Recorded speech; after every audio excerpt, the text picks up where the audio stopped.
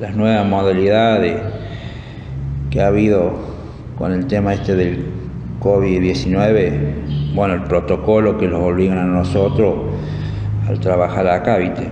A tomar todas las precauciones. Nosotros hace un mes y diez, un mes y diez días que hemos vuelto a trabajar y, y un mes estuvimos trabajando tres días por tres.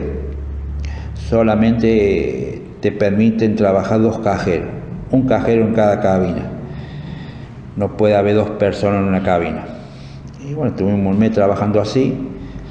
Hace una semana que volvimos a la normalidad de trabajar seis días por dos, pero sigue el mismo protocolo que tiene que haber un solo cajero en la cabina nomás, ¿viste? Nosotros somos tres cajeros, pero el COVID te obliga nomás que tiene que haber un solo cajero por, por cabina, por el tema que no tenemos que estar ahí, bueno, en contacto y, y por eso te, te obligan que tiene que haber un solo cajero.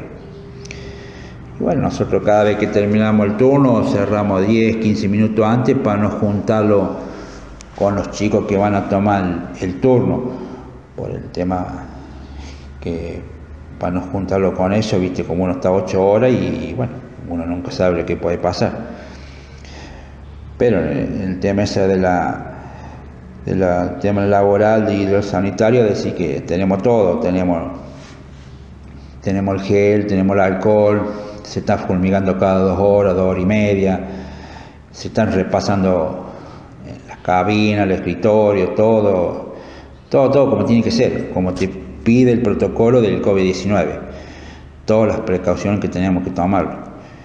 Y bueno, y el tema también tenemos, nosotros solamente sacamos el brazo, tenemos nylon en las ventanas para no tener contacto con el, con el camionero, menos contacto que, que tengamos, mucho mejor, ¿viste? Porque una que hay mucho tráfico de camión, alta cortada la 8, todo para entrar acá a San Luis, entran todos por acá por las 7. Y bueno, y están pasando muchos extranjeros, acá pasan muchos chileno, brasilero, uruguayo, Paraguay, Bolivia, todos esos camiones los están viendo vos todos los días, todos los días están pasando camiones de, del extranjero, ¿viste? Por eso con más, con más razón uno toma mucha precaución, ¿viste? Y, y, toma todas las medidas que se, que se debe tomar. Pero, como digo yo, gracias a Dios hasta ahora todo va bien y, y esperemos que, sí, que sigamos todos acá los compañeros, todo bien, ¿viste?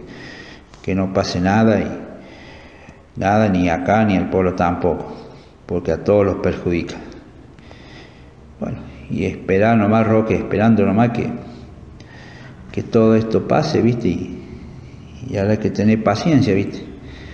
Total, algún día irá a pasar, pero como te digo, lo principal que gracias a Dios hasta ahora está hace un mes y algo que volvimos a trabajar y gracias a está todo bien. No, no, no pasó nada, nada, nada raro con el tema del COVID y, y bueno, y como decimos nosotros, tomamos todas las precauciones que se debe tomar.